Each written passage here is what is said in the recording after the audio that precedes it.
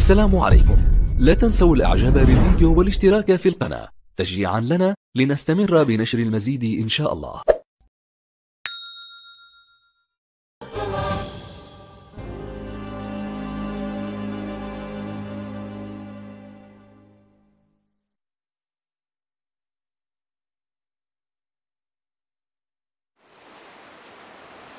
بس مش ملاحظين يا جماعة إن مدحت توتو عضلات ده ما بقاش بيجر شكلنا زي الأول. طبعا يا ابني هو يقدر. اندهوا بالفوارس معاكم ما تقلقوش من أي توت. إيه هنداوي إيه ونية إيه؟ ده تلاقيه متأخر بس عشان بيضرب حد تاني ولا واخد هدنة عبال ما يشحن لك عضلاته ويرجع يلبك. يشحن عضلاته إيه؟ هو موبايل. ما هذا؟ إيه؟ يا للسماء يا للسماء في إيه يلا؟ لقد انتهى الأكل. ماذا سنأكل؟ مش عارف. يا ريتني كنت مت قبل ما تشوف اللحظة دي يا سعاد. هي أوقات الحياة السعيدة كده يا ليلى. بتخلص بسرعة. ما تبطلوا كلام بقى عن الأكل. أنتوا كل همكم كده على بطنكم. تعالوا نتخيل. تخيلوا لو البحر ده كله خرج وغرق العالم ده كله. الناس هتعيش إزاي؟ عادي. تمشي بمايوهات. يا عم أدهم اهبق شوية لو سمحت. لحسن الموج ممكن يعملها ويسحبنا وأنا أساسا بخاف من المية. لا شوارع ولا بيوت. والناس كلها عايشة في المراكب زي بعضيها. يا سلام. خلاص يا أدهم يا أخي لو الفكرة محشورة في دماغك قوي كده خش كلية بحرية قسم قواقع وأنت تعيش في البلد ده على طول. يا جماعة من كتر كلامكم عن المية أنا عطشت. هنداوي هات فلوس عشان أجيب حاجة ساقعة. يا نهار أنت هاد أنت ما وراكش حاجة غير إنك يا جعان يا عطشان يا هفتان يا جربان. يا ساتر. خد الربع جنيه ده هات لنا أربعة حاجة ساقعة وأربعة رز بلبن وأربعة كحك بعجوة وأربعة مية معدنية وستة فريسك عشان أنا باكل اتنين وواحدة زبدة كاكاو حد عايز حاجة تانية؟ هات لي بقى بقية ال 10 جنيه وأنت راجع فاهم؟ يلا أهو اللي يجي من قفا هنداوي كله فايدة بتقول حاجة؟ قصدي اللي يجي من قفاك يا حبيبي كله فايدة أيوه يا هنداوي هو يعني يقصد يقول لك اللي يجي. من قفاك آه. يا حبيبي. آه. فايدة. فايدة فايدة فايدة طب يلا يا فايدة أنت وعزيزة من هنا عشان تجيبوا لنا المؤن قوم يلا أنت وهو. يلا يا أبو صلاح. ولا ما تنساش تجيب فاتورة يلا بلا إيه الواد جودة ده؟ الواد ده طلع معانا الرحلة واقف بخسارة عمال ياكل ياكل. مش باين عليه. هو بياكل في سرنجة ولا إيه الواد ده؟ يا سلام يا هنداوي. يا سلام لو الواحد يقدر يقعد هنا على طول. يا سلام. هو حد حيشك ما تقعد يا عم.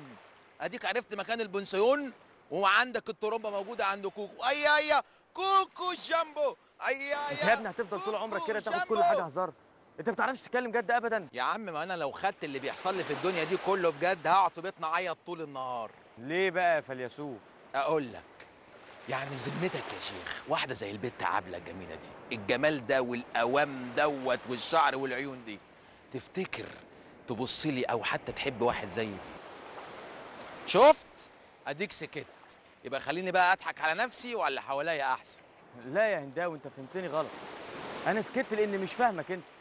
الحكاية مش حكاية عبلة تبص لك ولا ما تبصلكش أمال حكاية إيه يا فيلسوف العصر والأوان؟ إنك ما تاخدش الدنيا جد. ده رد فعل غلط منك. معناه إنك هتفضل سلبي طول عمرك يا هنداوي. ما تزعلش مني يا هنداوي. أه، أنت أكتر من أخوي.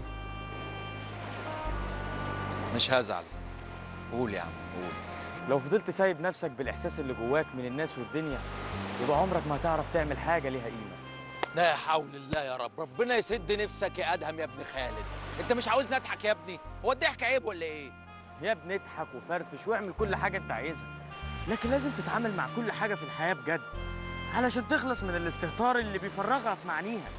آه الاستعمار اللي بيفرفرها من أغانيها. أنا مش فاهم أي حاجة. طب انت مش بتحب عبلة؟ وده سؤال ما انت عارف. طب إيه رأيك بقى ان أنا متأكد انها بتستلطفك ده اذا ما كانتش بتحبك. بجد يا ادهم مين اللي قالك؟ أكيد سوزي. سوزي ما قالتليش حاجة. أنا حاسس بده. عبلة مستنياك تاخد الدنيا بجد. علشان تحس إن مشاعرك من ناحيتها حقيقية. مشاعري من ناحيتها حقيقية جدا. حقيقية موت حقيقية طحن كويس.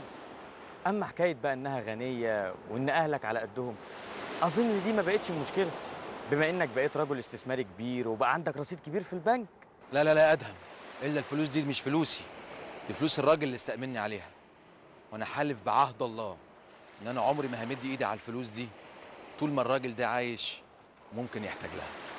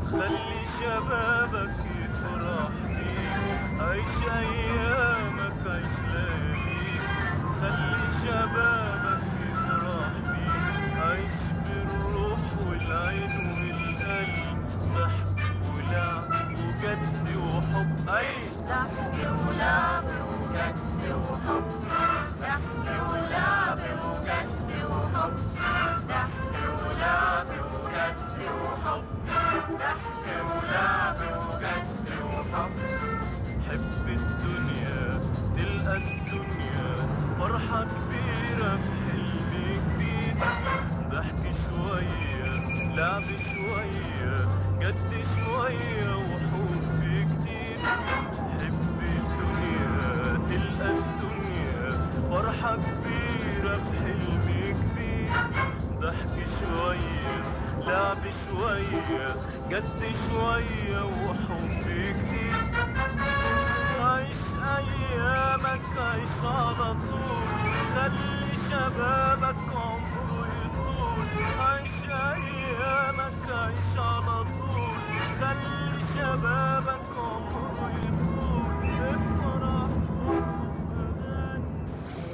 المسرح الروماني يا أولاد زي ما إحنا شايفين عايزة أقول لكم إن هو اتبنى في القرن الأول الميلادي. واللي بناه الرومانيين لما مصر بقت ولاية ضمن الولايات الرومانية. عايزة أقول لكم إن المسرح دوت بيتكون من 12 مدرج على شكل حدوه حصان وبيتسع هذا المسرح ل 800 متفرج. وزمان بقى كان في إقبال من الناس على المسرح زي دلوقتي؟ طبعا كان في إقبال شديد. الإمبراطور بنفسه كان بيحضر الاحتفالات. يا ريت تقولوا لي مين أول حد عمل مسرح قبل الرومانيين؟ الفراعنة يا ميس. برافو الفراعنة. الفراعنة هم أول ناس كان عندهم مسرح. عايزة أقول لكم إن الأستاذ حسين هيكلمنا إزاي المسرح الروماني اتبنى. اتفضل يا أستاذ حسين. المسرح اتبنى من المرمر اللي هو الرخام الأبيض أو الرمادي وكانوا بينقلوه من آسيا الصغرى وكمان استعملوا فيه الجرانيت الأحمر اللي إحنا شايفينه. تحت هنا. ده كانوا بيجيبوا من أسوان. وفي سنة 63 حصل له عملية ترميم كبيرة جدا. وزي ما أنتم شايفين يا اخوانا أي حضارة عظيمة لازم يبقى فيها مسرح. ده طبعا اللي بتوع المسرح عشان يفهموا إحنا بنعمل إيه. هما زمان كانوا بيعملوا بروفات زينا يا ميس؟ طبعا كانوا بيعملوا بروفات كتير. كانوا مهتمين جدا جدا بكل الفنون. عايزة أقول لكم إن الإمبراطور بنفسه كان بيحضر كل المسرحيات وكان مهتم جدا بالفنون. والفن ده نوع من الحلم واللي بيعمله يقدر يدخل قلوب الناس وعقولهم.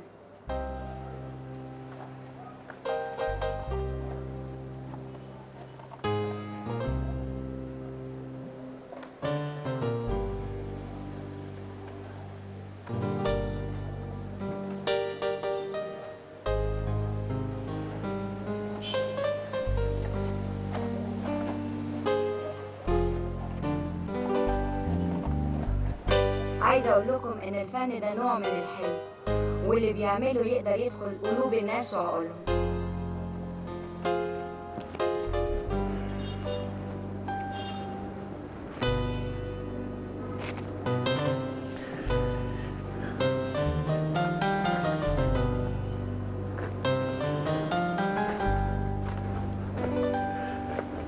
يا ترى البطل سرحان في إيه؟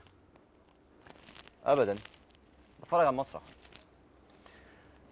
شيء عظيم يا ابني إن الواحد يشوف التاريخ بشحمه ولحمه وهو واقف قدامه.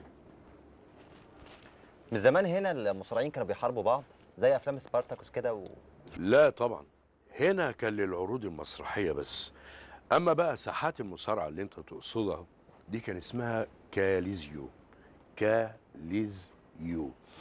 دي كانوا المصارعين يقعدوا يتصارعوا فيها حتى الموت عشان الناس تنبسط وتتفرج وتتسلى يا عيني عليهم وهم بيموتوا بعض.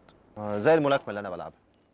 ما الناس دايما بتحب تتفرج عليها ويشوفوا مين اللي هيكسر دماغ التاني الأول. لا يا مدحت يا ابني الملاكمة دي رياضة رياضة بتحكمها أصول وقوانين وبعدين الرياضة دي بترفع من الروح وبتنميها كمان مشاعر الإنسانية هو حضرتك لعبت ملاكمة؟ لعبتها. لعبتها كتير واتغلبت فيها كتير كمان. أكيد بسبب المشاعر الإنسانية اللي ما كانتش موجودة طبعا أيام الرومان. المجتمع الروماني كان مليان بالمناقضات.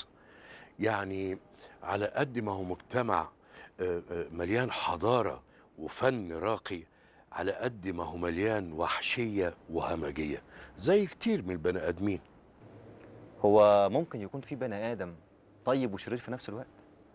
الصفتين الاتنين موجودين في البني آدم جنب بعض اللي هما الخير والشر بس البني آدم الشاطر بقى يروح ماسك الشر دفنه جواه لحد ما يموته خالص ويطلع الخير براه على إذنك رايح فين يا مدحت؟ ماشي الله أنت مش ناوي تيجي معايا قهوة الإسكندر النهارده؟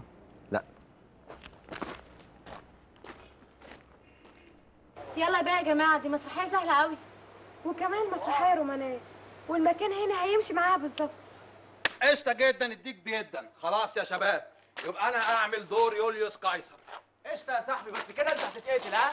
اتقتل اتقتل المهم أعمل الدور الرئيسي. بص يا شباب اجمع الفرقة عندي هنا. بصوا ركزوا معايا كويس في الحركة اللي هعملها ده فن ها؟ ماشي.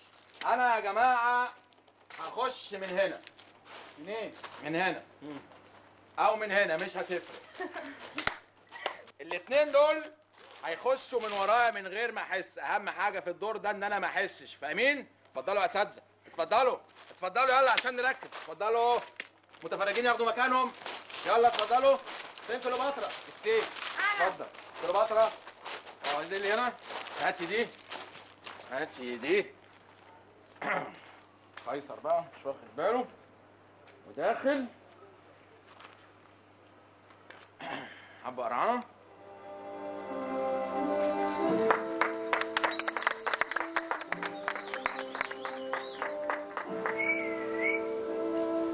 عمت مساء يا عبلة يا بنت أوكتافيوس.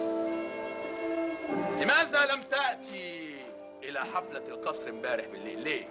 خد يا يوليوس آه. يا دكتاتور ده جزاء آه حتى أنت يا مرقس يا جبان يا نداغ اللبان. آه. صاحبي. أيوه. صاحبي. يا صاحبي. خد دي ميرسي ميرسي صاحبي نعم. خد دي آه. آه. آه حرام عليك. حتى أنت يا صلاحيوس قصدي يا بروتس. آه دي آخرة الصحوبية. آه. السياسة ما فيهاش صحبية يا عزيزي. قيصر. لو سمحت كرسي العرش. آه كمان بتغلط بيا.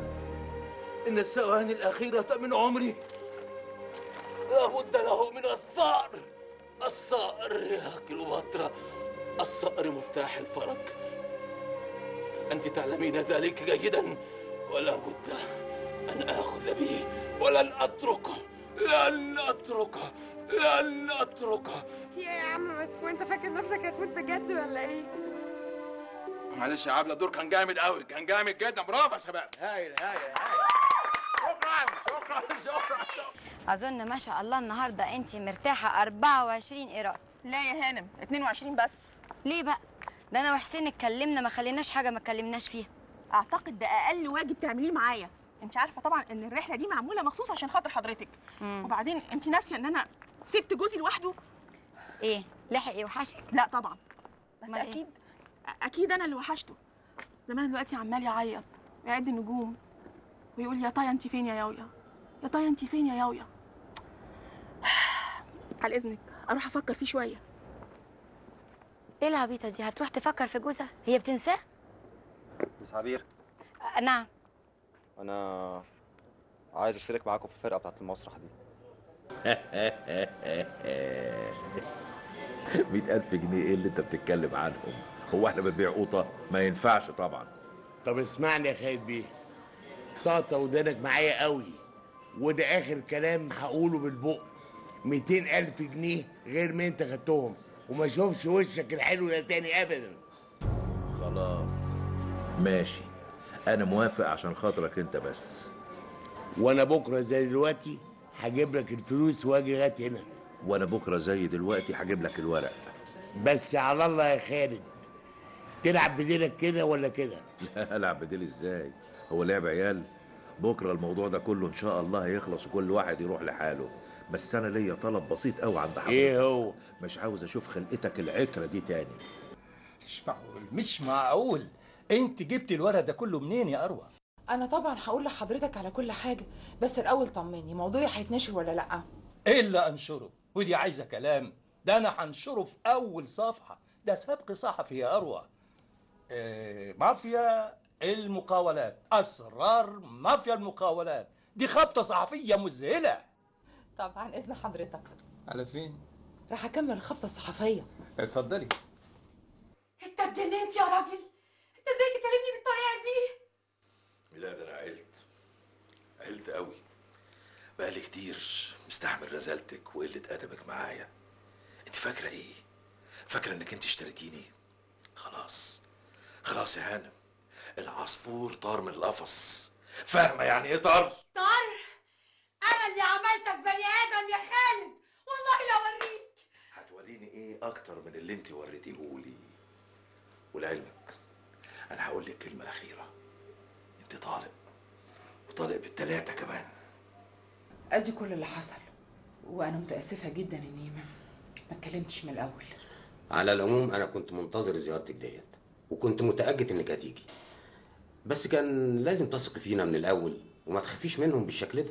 في الحقيقة أنا كنت خايفة منهم على ابني. أنا اللي مش فاهمه.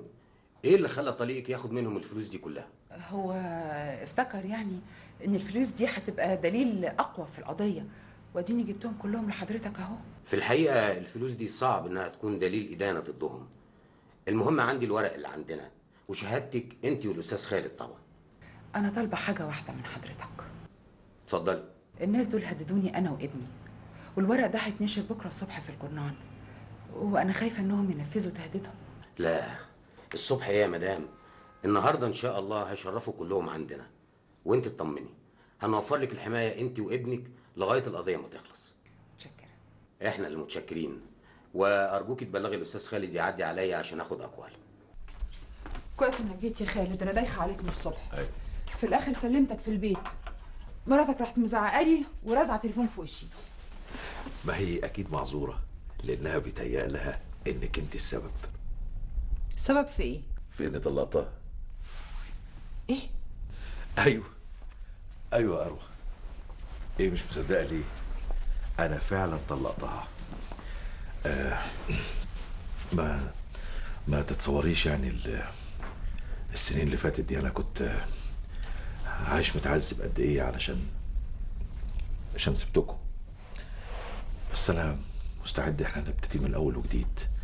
آه واعوضكم عن كل اللي فات انت و وادم ما تصوريش أنا محتاج لكم قد إيه؟ وأنتوا كمان. أكيد محتاجين لي. أنت إيه اللي خلاك تعمل كده؟ أنا اتفقت مع الناس اللي, اللي- معاهم الورق إياه. آه، هاخد منهم 200 ألف وهنعمل بيهم بقى م- م- مشروع كبير يخلينا نعيش ملوك بعد كده. أنت بتقول إيه؟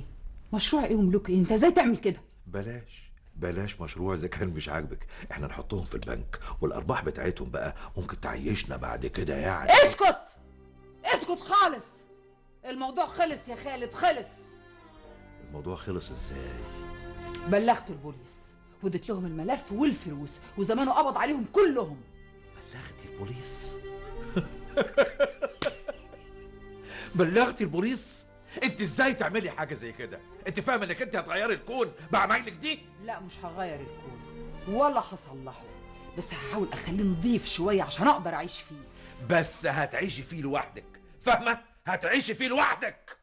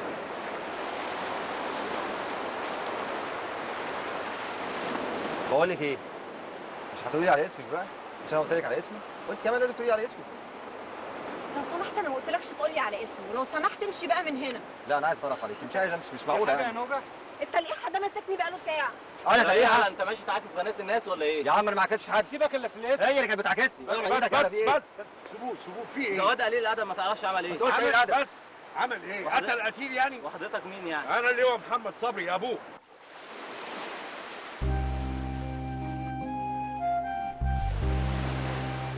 عارف يا مدحت النهارده فكرتني بنفسي لما كنت في سنك كده. كنت صغير يعني. طقت في دماغي مرة أعاكس بنت الجيران اللي ساكنة قصادنا. لجلي حظ أنا بقى. أخوها شافني. وقعد يتحنفني ويعمل لي إشارات بما معناها إنه هيضربني لو نزلت الشارع. أنا طبعا بقى مش زيك. أنا عملت نفسي عيان قعدت في البيت لمدة أسبوع خايف أنزل في الشارع. لا يضربني. و... أنت بتضحكش ليه؟ يا واد أنا بحكي لك كده علشان أخرجك من اللي أنت فيه. يا ساتر.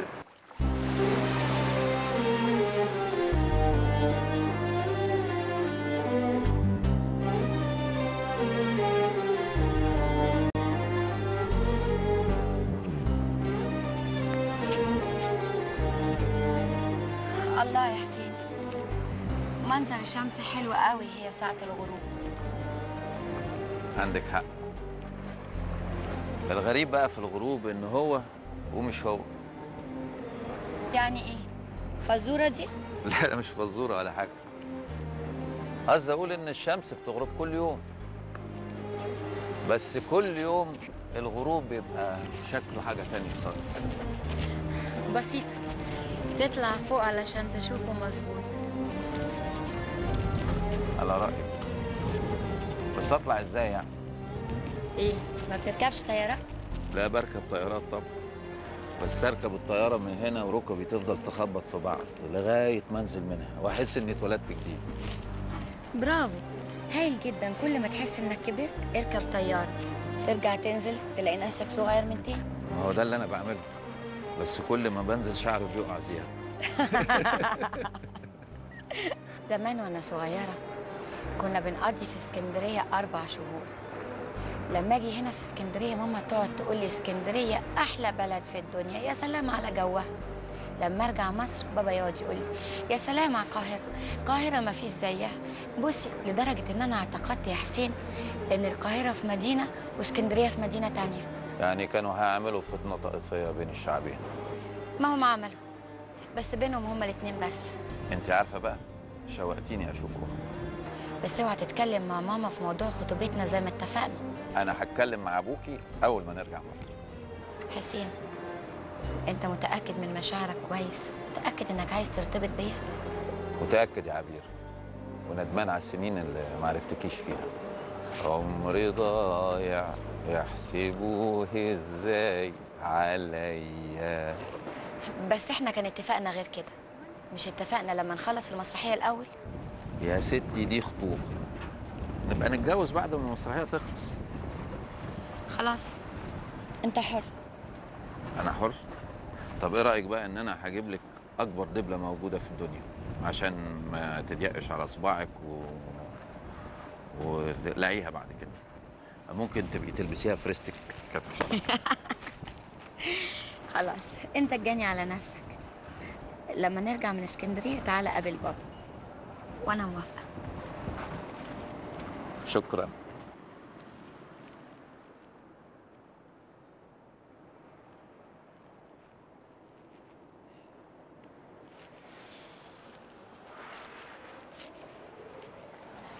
يا مساء الدماغ العالي. يا عم امسك بس ما تعملش فيها مكسوف.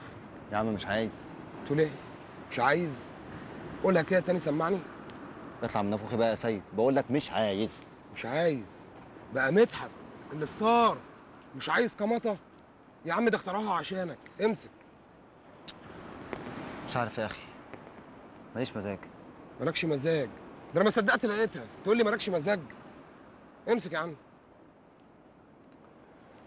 أنا رايح الأوتيل. أنا الحق عليا. أنا عاوز أفهم.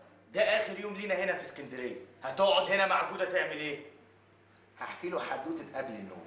كان يا مكان يا سعد يا إكرام. لا يا هنداوي مش كده بقى يا هنداوي؟ 10 واحد بيتحايلوا عليك يا أخي. ما تقوم تيجي معانا وتخلصنا بصوا بقى يا جماعة اولا أنا ما بعرفش أرقص وعمري ما دخلت ديسكو قبل كده عشان أقعد أتحنجل فيه. ثانيا مش داخلة دماغي حكاية إنه ببلاش دي. مفيش حاجة هنا ببلاش. والأهم من ده كله ده كله إن الفلوس اللي معانا يا دوبك يا دوبك تروحنا مشي.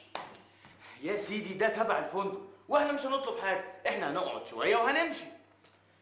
خلاص خلاص يا جماعة. عموما أنا كنت قررت إن أنا أساسا أجي معاكم أشوف أي حد ارقص معاه فلو هنداوي مش عايز يجي خلاص أنا ارقص على الأغنية المفضلة بتاعته مع عبلة مكانه. يا لا يا لا.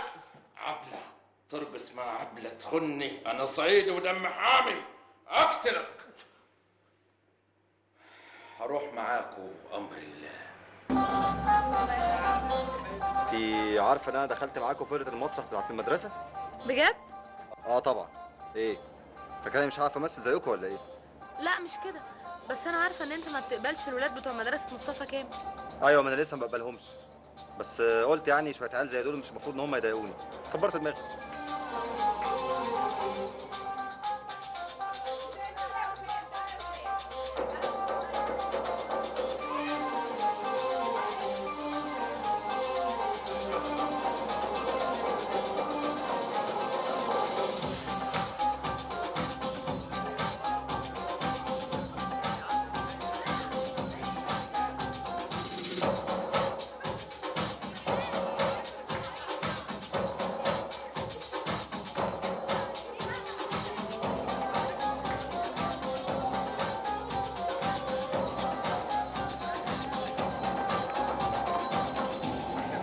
مساء الخير تيجوا تقعدوا معانا تقعدوا معانا إيه؟ تاخدوا مش ادعوا الله. يا عم يلا بينا قلت لكم يا عم استنى. الترابيزة هتكفي. ممكن نجيب كراسي ونقعد مع بعض. بس إحنا مش جايين نقعد. إحنا جايين نرقص. يا بنات ما بترقصوش ليه يلا يلا.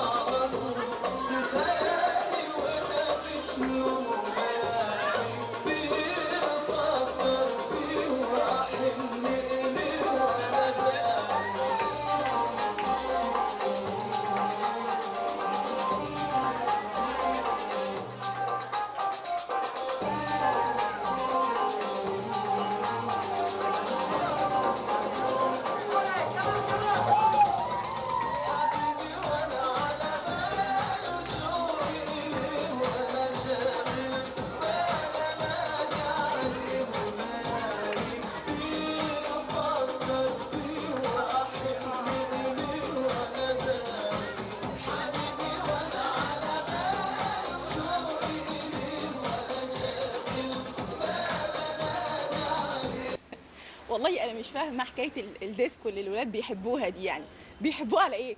يعني بتهيألي دماغهم تبقى طب بذمتك أنت ما كنتيش بتروحي زمان مع هاني؟ أنا وهاني نروح ديسكو. معقولة؟ الحقيقة أنا طلبت إن هو يوديني ورا بس هو مرضاش كنا بنروح نحضر ندوات شعرية آه، نحضر مثلا معارض فن تشكيلي. آه، آه، جلساتنا كانت أرفع من كده بكتير. م- ميتهيألي لو رحت ديسكو وفكرت مثلا إن أنا أرقص دماغي هتبقى قد كده. دي فرصة يا عبيطة علشان دماغك تكبر وتعقلي أنا مجنونة يا عبير. إيه شايفاني بقطع في شعري قدامك؟ لا يا راوي هي عبير قصدها تقول لك يعني إن الولاد لما يخشوا في الديسكوتيك ده مخهم بيكبر من كتر الزيطة اللي موجودة يعني مش كده؟ تمام كده. وأنا هخلص معاكم. أنا باين عليا اتزنقت بينكم أنتوا الاتنين.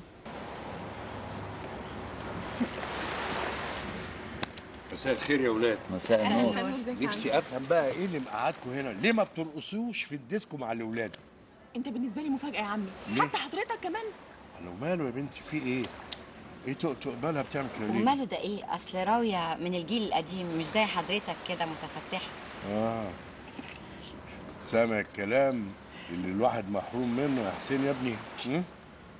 طب أنا بقى عندي خبر كويس قوي اقوله لكم آه يا حسين الله يخليك. قول. لحسن ده أنا بقالي ساعتين ثلاثة ما سمعتش خبر كويس. حسين ده وقته؟ يا سلام. ده أبويا ودي صاحبتك وزي أختي. أنا وعبير اتفقنا إن إحنا نتخطب لما نرجع مصر. بجد يا عبير؟ أيوه يا أنكل. متشكر. متشكر قوي يا عبير يا بنتي يا يا سلام. أنا أنا أنا مش قادر أصدق. ده أنا كمان مش قادر أقعد. يلا قو- قو- قوموا معايا. إيه يا عمي انفعالات حضرتك مع استني إحنا هنروح الحرب. هنروح فين بالظبط؟ هحضر الدنيا بحالها.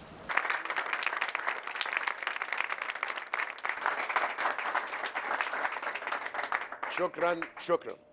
اسمحوا لي يا حضرات أعتذر لكم عن تطفلي عليكم بالرقصه اللي هرقصها دلوقتي. أنا رقصت في حياتي كلها مرة واحدة.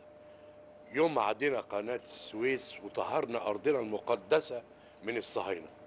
المره دي بقى هرقص لتاني مرة وده علشان سبب شخصي جدا. هو خطوبة ابن حسين على الآنسة عبير.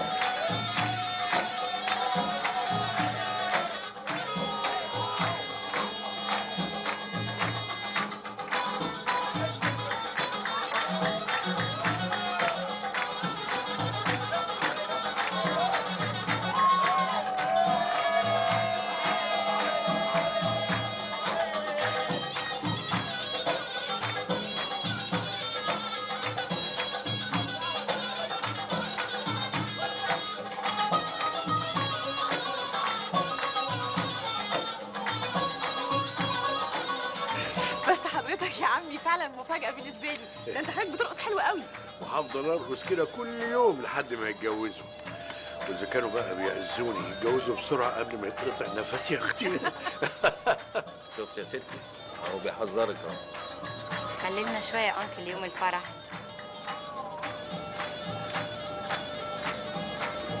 بابا أنت تعبت ولا إيه؟ لا يا ابني أنا تعبان إيه؟ ده أنا طاير. طاير من الفرح. مش مش تعبان؟ ما تيجي نقوم نرقص بقى شوية. معقول يا حسين؟ هنرقص قدام الولاد؟ أيوه مش أصحابنا الصغيرين. قوم يلا قوم.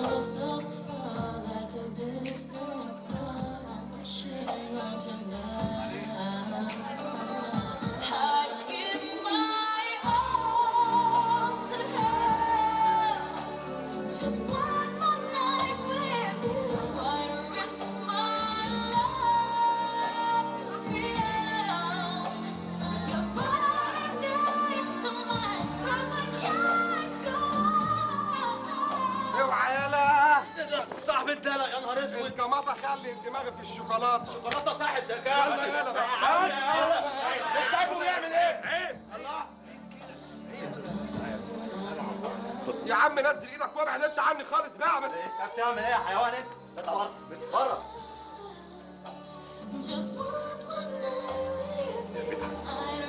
عنيف على طول. عمر العنف ما يحل مشاكل. مش كده؟